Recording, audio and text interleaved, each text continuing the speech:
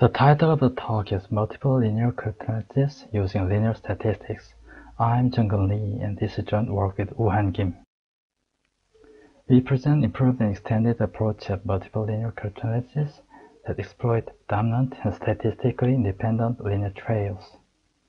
We present threshold-based, rank-based, and combined algorithm 1 and algorithm 2 style attacks.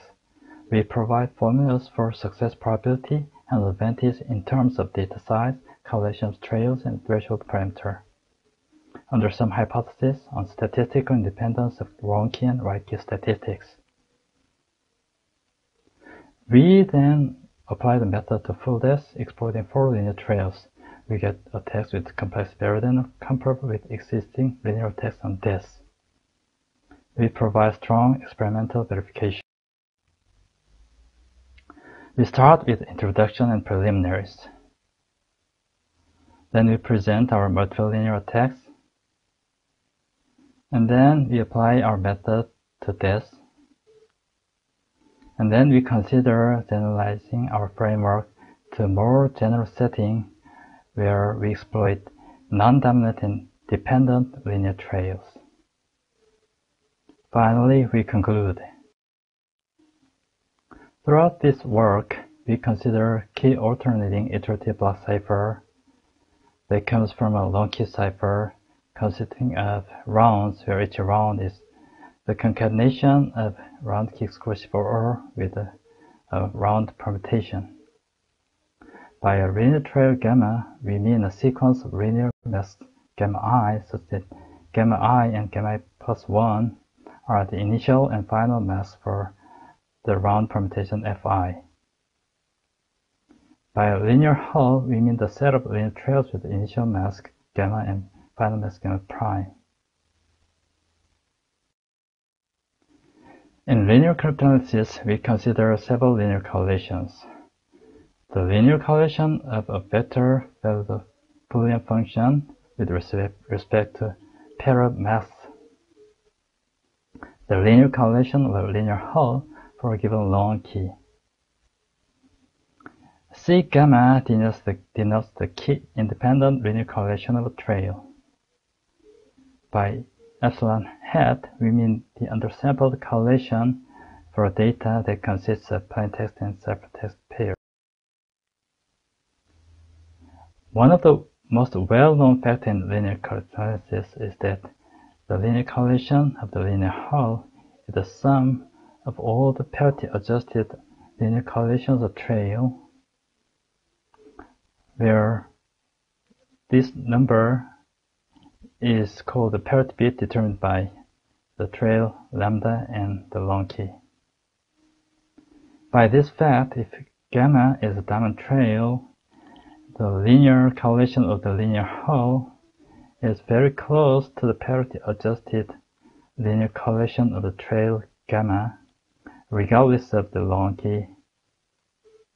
Unless mentioned otherwise, we assume that the gamma and gamma j are dominant and fixed.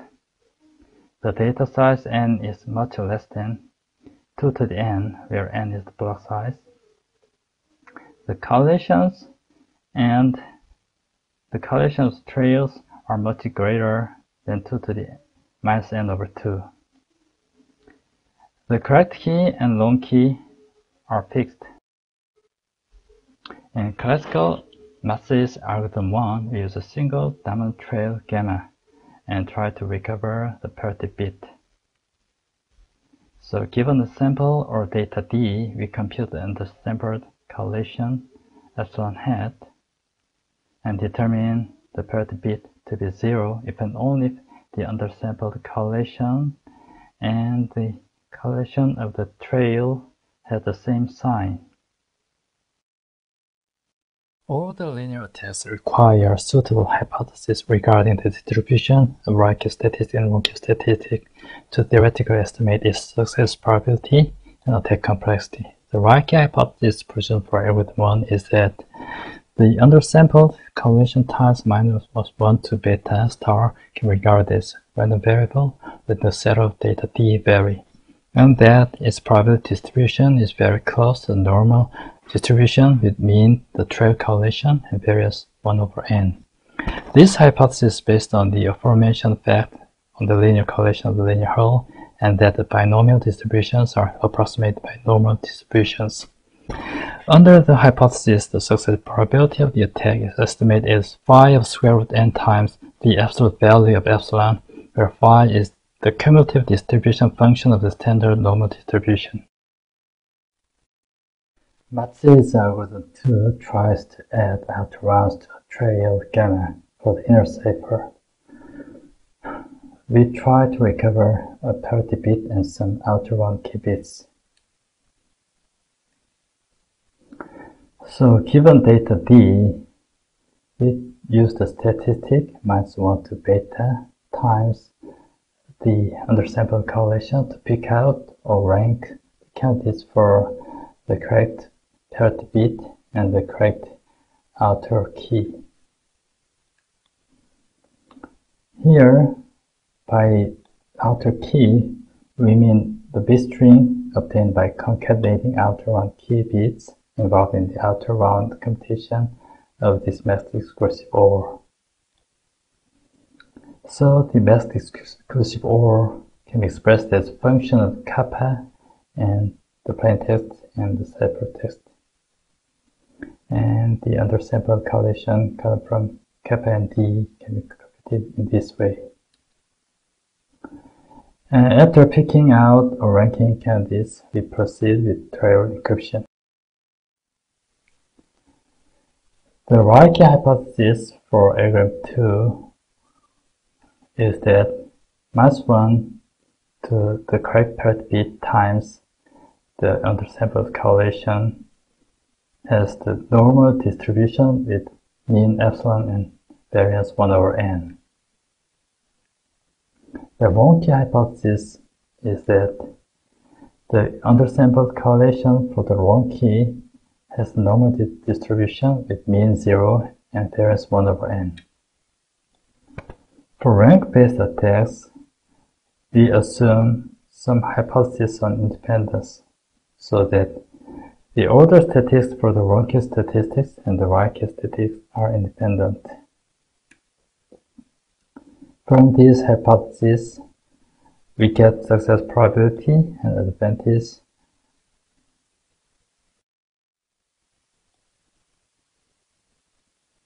We now consider algorithm-style multiple linear attacks.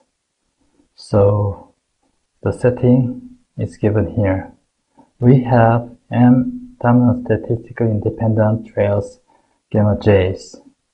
Let epsilon j be the correlation of trail gamma j for each j, and let epsilon be the square root of the sum of the epsilon j's squares. So the objective the attack is given data D, we recover kappa star and beta star, where kappa star is correct value of the outer key kappa. There is the bit string obtained by combining kappa j's, removing redundancy. Here, Kappa J is the bit string obtained by concatenating outer round key bits involved in the outer one computation for the trail gamma J. We assume for simplicity that bits of J's are either identical or independent. And beta star is the vector consisting of, of correct parity bits. We will use a statistic T that depends on the outer key kappa and can differ the correct vector of parity bits beta and theta d. So the statistic is expressed as follows. It is the sum of minus 1 to beta j times the correlation of j's trail and n times the undersampled correlation for the trail gamma j with the applied outer key kappa j.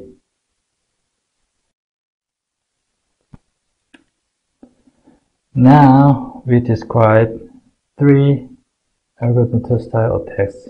One is uh, threshold based that we call algorithm 2 MT. In this threshold-based algorithm, we pick out the pairs satisfying this threshold, threshold condition. In rank-based attacks, we rank kappa betas according to the value of the statistic. In our combined attack, we pick out candidates satisfying the threshold condition and then rank them. It turns out that this combined method yields better advantage than algorithm to empty their threshold based for pairs close to 1. Algorithm style multiple linear attacks, we need to consider wrong key types. There is proper subset of the set of integers from 1 to the m. Kappa is said to have the wrong key type J sub O if the set of indices such that kappa j equals kappa j star is equal to J sub O. We denote by double J sub O the set of kappas having the wrong key type J sub O.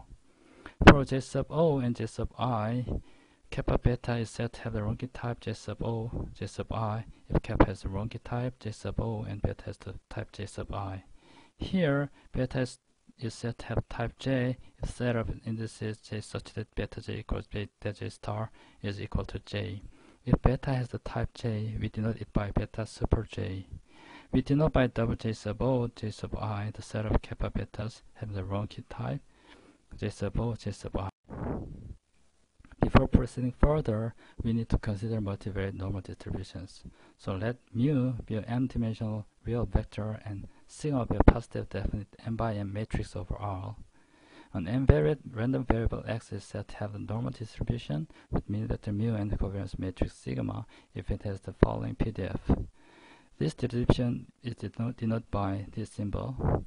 The probability that an n-variate normal random variable satisfies the linear inequalities can be expressed in a very simple form. We will need this formula repeatedly in this work. In this case, the sigma is the product of the matrix sigma times its transpose, and phi denotes the CDF of the standard normal distribution. For algorithm style linear text, we need to consider the distribution of vector valued random variable for its wrong key type. So we will denote that by x sub j sub o.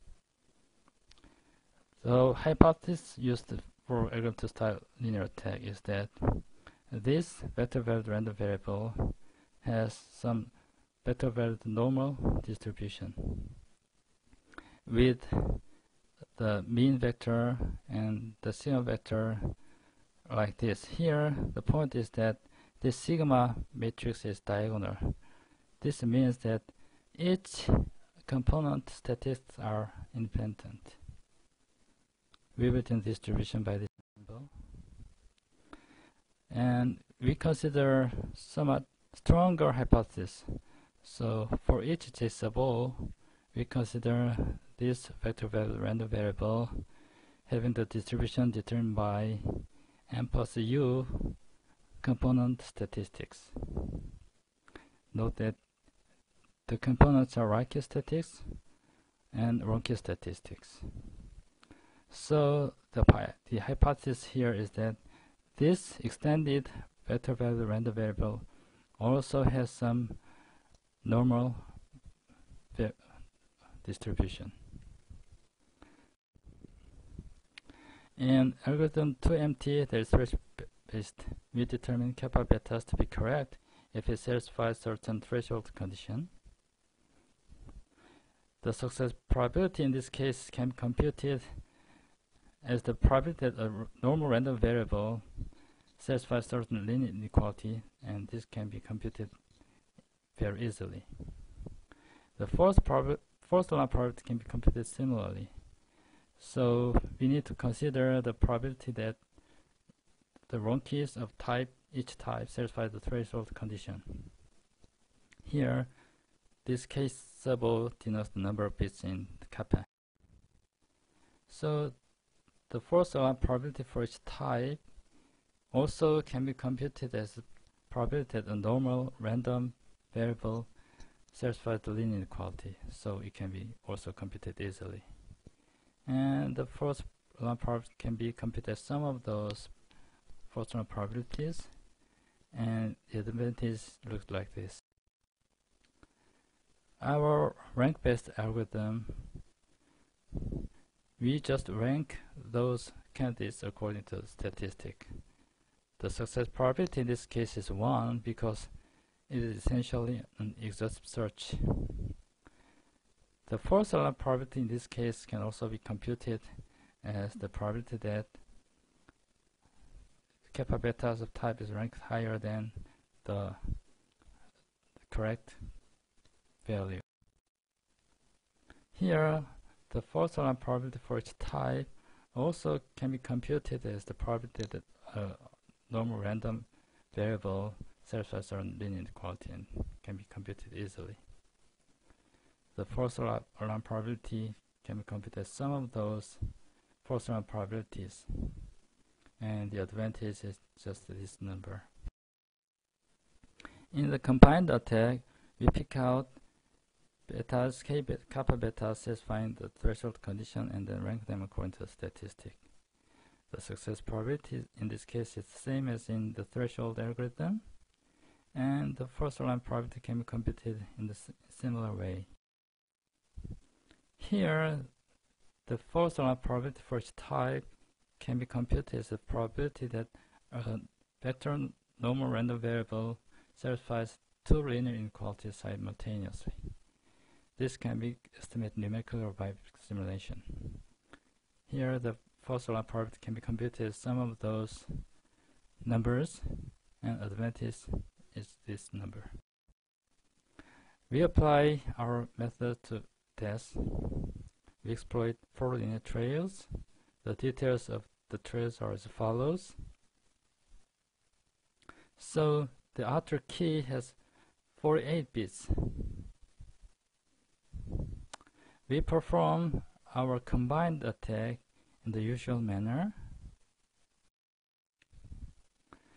We perform experiments using 1000 keys. For each key, we take the size of data, which 2 to the 42.78. The theoretical and experimental success probabilities are as follows. Here, the circles represent the experimental results. Theoretical and experimental advantages are in, in this figure. We see that the theoretical and experimental results match In 2004, Biryukov and others proposed a notable method of multiple linear cryptanalysis. They presented algorithm 1 and algorithm 2 style tests. For each attack, they provide formula for advantage estimated in terms of trade correlations and data complexity. This attack is rank based and the success probability is fixed to 1. So, but the attacks have limitations that its advantage is not analyzed theoretically for success probability less than 1, and the experimental advantage is not satisfactory, for example, when applied to DES as shown recently. Later, multidimensional linear cryptanalysis has been proposed. It is a very powerful method, but it also has limitation that it does not yield attack better than Matsui's order attack on DES by several reasons. Recently, several notable linear attacks on DES has appeared. There are multiple linear cryptanalysis using eight dependent trails, conditional linear cryptanalysis, and analysis using a separate statistics. Our attacks have comparable complexities as, as those, but advantageous with small data size. Note that these attacks are somewhat effic more efficient than Matsui's order attacks.